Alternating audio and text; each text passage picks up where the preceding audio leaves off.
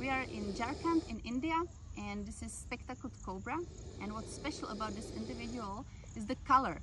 Uh, in southern part of India we know much darker uh, spectacled cobras but this one is uh, very creamy almost uh, yellowish and also the hood I will show you the hood. The hood uh, is different because the marking is not black but also yellow uh, or a little bit whitish. This individual was yesterday rescued um, from the field near the village because spectacled cobras very often come close to people because they they eat uh, mice and rats